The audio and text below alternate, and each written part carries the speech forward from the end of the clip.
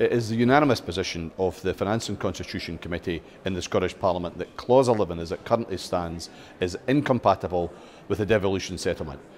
And uh, the, the UK government gave a clear indication before, towards the end of 2017, that they would amend the bill. That hasn't happened. That's caused considerable concern in the Scottish Parliament, and therefore the visit tomorrow to the House of Lords is very important to re-emphasise how important it is that this bill is amended to avert a constitutional crisis.